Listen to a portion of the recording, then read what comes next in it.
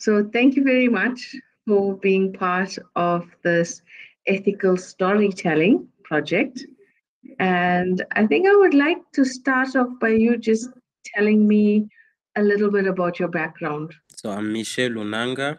I was born in, in Bukavu and I grew up in Goma.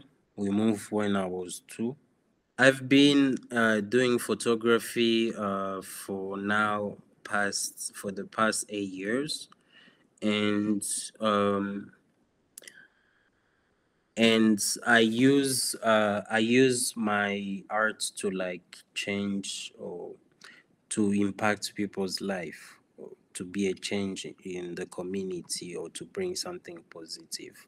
And based on what I and based on the initiative um, I created, which promotes uh, arts, ecology, uh, in order to raise awareness to people and to use art to to help people travel Congo.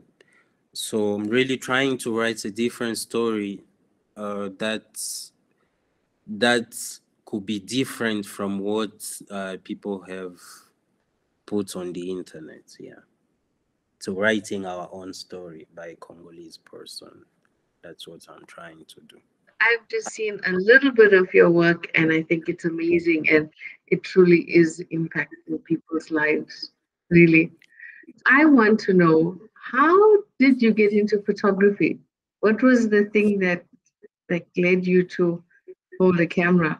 I've been experiencing a lot of things actually. Like when I was kids, I was I was just doing photos just for for the sake of having fun, but uh, there was a message behind it. Through what my family and what we what was going on here in in Congo, I was really end up being depressed and to use being depressed and to really um, always be myself when it comes to problem issues when i was seeing my mom struggling. I usually go in the nature. I used to go in the nature to to sit thinking. I was i was like i don't know. How can i uh, how can i keep this uh, story alive? How can i stay how can i show this one day? Because i know there is there is a change that will happen someday and which will need which will be replaced by something else which is positive. So you started building your own story. You wanted to preserve your story so you'd be able to tell your story later. Yes. So because i was thinking a lot my father gave me a name called fikiri which means thinking because i was always thinking too much without uh, without doing anything so my mom wouldn't wouldn't want that uh, okay. uh, and she said and she said instead of it, instead of calling him uh, ushindi it's good to call him um, victory because when i when i was born uh, there are so many things that happen and and my father told it's like it's like a curse. Mm-hmm. but uh, because when i was born he got chased from the work but also he he used to not do something that was right.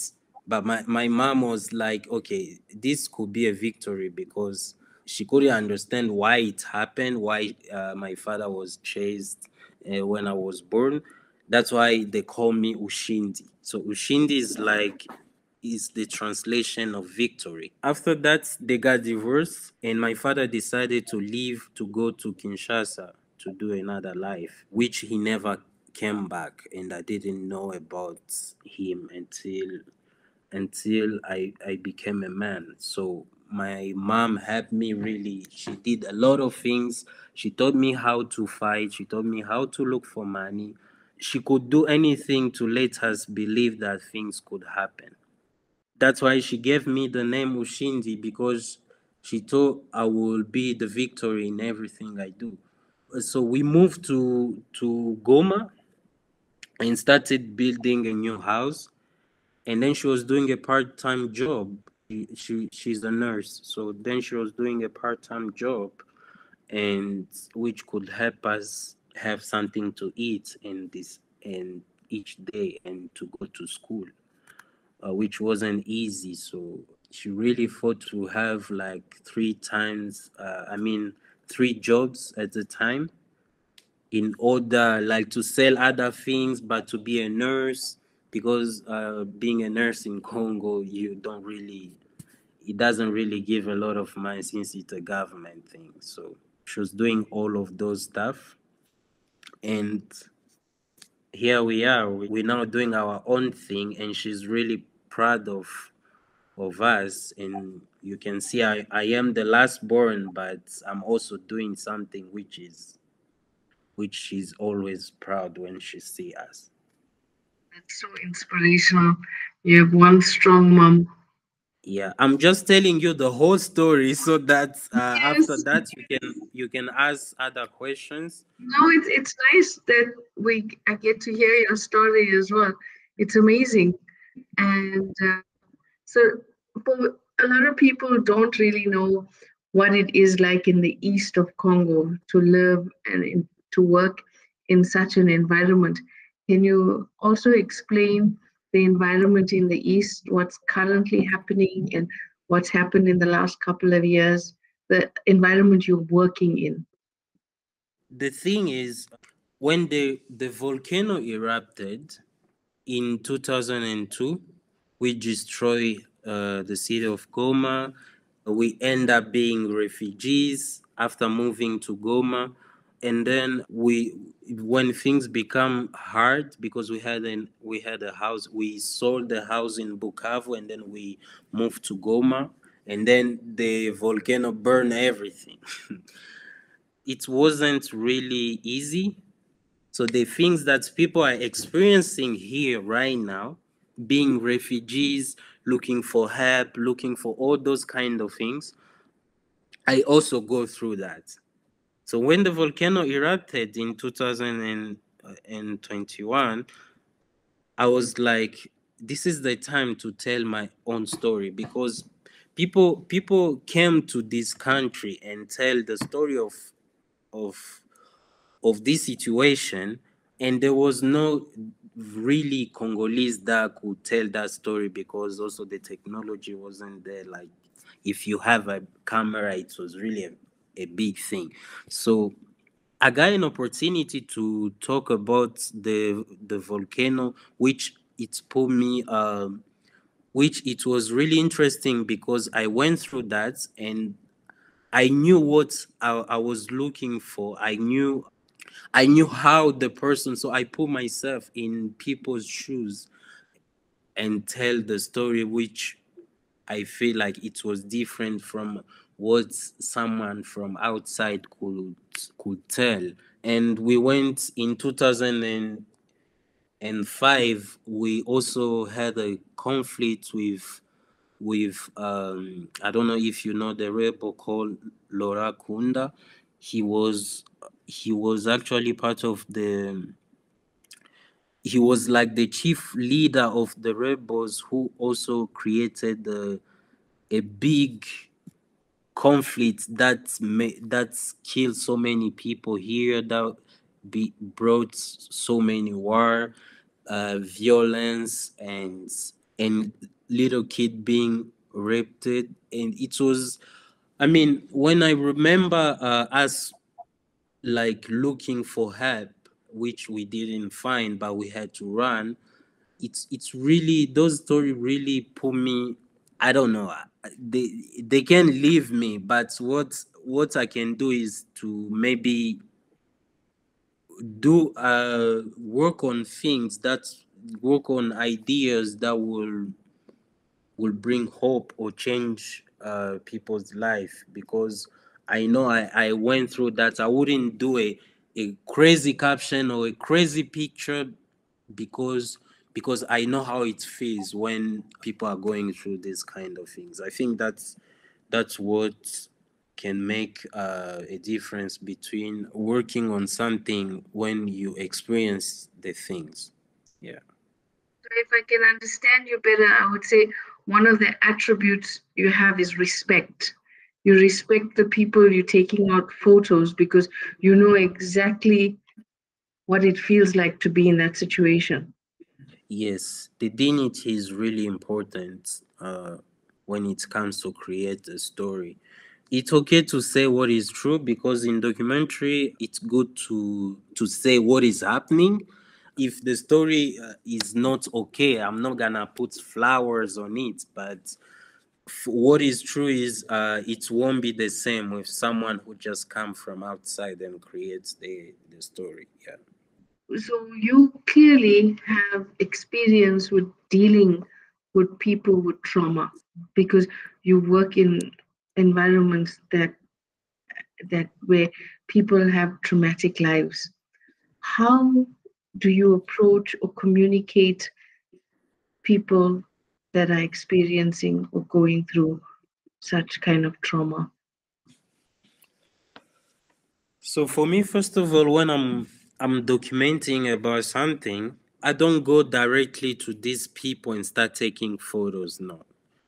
They are human beings. So when a company, for example, like UNICEF or Doctors uh, Without Borders, when they when they send me to these places to take photos, I have a strategy. I don't just go there and do what they they they doing on the field and then go back and say here is the content. No.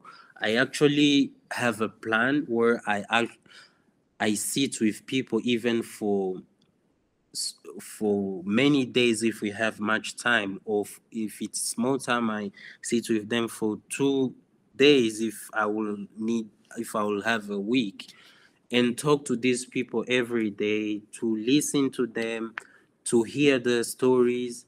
I mean to be to be inside of what they are doing so that i can be able to create a to create a better story a true story and a story that that still have some dignity in it. Not just to take photos because someone is suffering then to show a negative part of, of what is happening. There are people who have st- uh, stories which are also positive even if they're experiencing bad situations they are also uh, have this positive story where where for example you see um, you see like this situation that is happening in goma right now. There are so many refugees that came here because of war. And there are actually some people who are doing their best. They are not just staying inside of their tents. They are actually making bettering uh, other people's life inside those community. There are others who are selling something, not begging, but they are selling something to take care of their their children or family. You see parents, they are like, okay, these uh, these things happen but we need to be stronger because because if we stay ourselves just like that uh, we are not gonna get our help. We need to help ourselves. You see parents are doing their best to do something for their family. For me i will relate that story as what i'm seeing and what i'm what they are doing for for making things happen. Of course there are other people who are not uh, who are not doing anything. They are crying every day and waiting for help. But there are other people who are actually trying their best. So inside the story, there are story of people I can say who are who are showing a bad story, but there is a way I do that that take um, those photos with dignity but also when it comes to story I, I really take my time to sit with my subject and to discuss with them more about their life even to do small stories to exchange ideas. And then it's come up like we know each other for a very long time and you see they are very happy they are comfortable to share with me ideas. It's not like um I'm just coming there and take people's photo and that that's all. No. it really for me it means a lot behind it during this process when you talk to the people uh, do you also tell them about how you intend to use the use the pictures yes so okay. i i usually have the consent form when it comes to um when it comes to documentary there is a place where i go that is very specific and where people will want especially when it comes to international organizations they usually have a place they don't send us to just take photos just for taking they usually give us what they need. So for me uh for them they wouldn't care for example about consent form but i usually i usually create a consent form for myself when it comes to projects because i know uh this person would love um would love to know why are we, why are we taking these photos? Mm. Are we getting money from these photos? These people need to understand what they are doing. So I make some consent form and I translate them in their language or I ask for help for people who speak the language and then I go with them and they will read or someone near when they don't know how to read, someone will read for, for them. And uh, they will know why they are doing it and they will sign a paper for it. Or um or ask you another question? Uh-huh. do you do you find yourself sometimes in a conflict because you have a very politically unstable environment and then you have your clients sometimes ngos um, or, or sometimes media outlets, and then you have the people on the ground. And some and do you find that sometimes you need to maybe tell a story that is in line with what the client wants, or sometimes you are a bit scared to tell a story because of the political tension. Do you feel those kind of tensions at play in your work? usually so for me the experience that happened is is a bit different where uh, i went they sent me to do photos for an organization an international organization and then uh, when i get on the field uh, other people had what they were doing but them they didn't have they didn't have results like for example, they may get found, but they don't do anything. Uh, so me as someone who need to create content for them, I become in the middle of situation where I, I'm asking myself, what am I doing right now? So in those situation, uh, I really it, it really confused me because uh, they will I will get back to them and they'll say, okay, you didn't work. But for me, I wouldn't give what what is not true.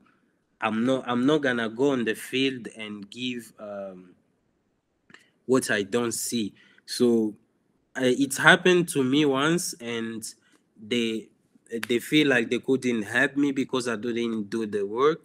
But as I said, I can't I can't say they gave you 10 millions of dollars to for to make this project happen, but I'm not seeing anything. The, normally, a documentary, you need to say the truth. So uh, it, yes. it, really confused me, and I couldn't do the work. And it's and, your reputation on the line as well.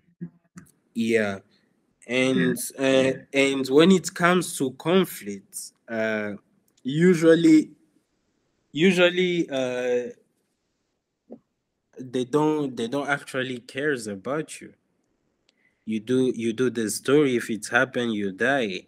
And i don't i don't think really they will they will care about if you die or if you you die or not uh, for sure uh, when uh, most of the the most of the mission here about about creating content they usually dangerous. You can get killed anytime. But uh, when when signing an organization and they say that um, you are at your own, especially when you are a freelance, uh, if you die, you die. Then it wasn't your your luck day, and nothing will happen. Actually, do you ever feel concerned for your for your life when you are when you are publishing photos? Like, do you feel worried that you're going to get into trouble? So um, normally, normally that's one I I actually should because we live in a country where you don't know you don't know what will happen when you go in town. So everyone could be a soldier you don't know. And and now people and the government is now on the new on the internet a lot. Right now they they now can check internet and for sure when for example um, i was documenting this story of MONUSCO and i saw MONUSCO killing people with my eyes. And that was one of the the like proof to show that actually they are killing people. But on the news they they say that they are not and they confirm it to the world. And nothing happened. And then you see when it comes to the news, um, they also keep their truth because you know UN is is one of the organization that is running the world. So they also couldn't couldn't put that on the internet when uh, when when they saw this news. But but as a photographer, I saw them because I was near them which was a bit dangerous. I was near them and um, I saw them killing uh, these uh, protesters with real guns. And it wasn't, um, it wasn't, for me, it scared me because uh, that's why when when they share the news, they, they just say uh, one of our reporters saw uh, what happened they didn't say my name because um, because it could put me in danger. I think. Yes. Yeah. Yes. Yeah. Your protection is important as well. So that's also another key aspect for ethical storytelling to be able to protect people with with their stories. Yeah. Yeah. If you had resources, if you had resources, what would you do differently? Is there anything you would do differently? If I had resources, I would mm-hmm. create I would create an organization for people to from Congo who would help me with this idea of changing the narrative and creating the story in a different way. That's what I would do. And I really dream big to make that happen and I I am working on making people together because I know uh, some of the people who are doing this job who can actually love to be part of this idea, and I think sooner or later. Um, the story will change on the internet, on Google, and when you tap Congo, it won't just be about war. There will be a diversity of art within different people who will learn more about uh, these skills about uh, copyright, about how to protect themselves, about uh, doing doing picture, how to be safe. I really would love to make that happen. That's that's actually one of my dreams. Yeah. I would like to see this dream happen too. Thank it's you. a really good dream to have and and you're doing it. You're working towards it. Yeah i'm doing it slowly. Yes but at least you started. Step by step yeah. Exactly. Okay uh, Michel i want to thank you for your time. And uh, really you're an absolute inspiration. And um, we're going to talk later more about the project And um, yeah, I'm going to stop recording now. Okay? Okay. On,